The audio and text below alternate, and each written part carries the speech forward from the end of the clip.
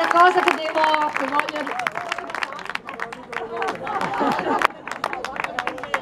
Intanto che, sì, volevo ricordarvi che laggiù